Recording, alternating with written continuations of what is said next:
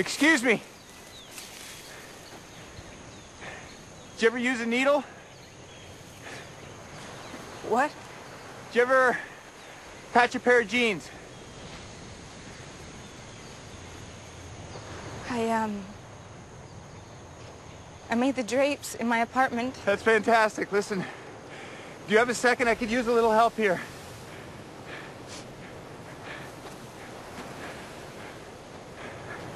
Help with what?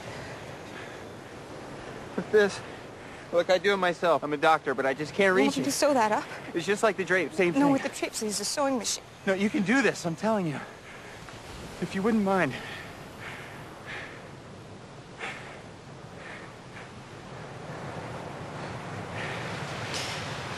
Of course I will. Thank you.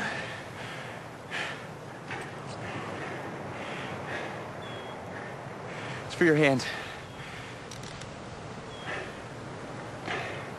Well, save me some. For the... for the wound.